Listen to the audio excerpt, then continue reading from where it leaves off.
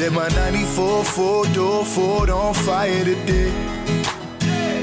And so I took her favorite pair of diamond earrings and I pawned them away. It's when she walked in the kitchen full of dishes and she broke every plate.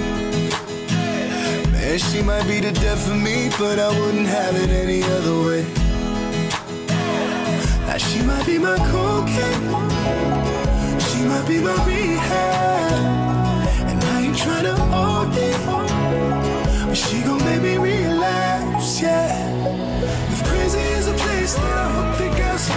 Pizza.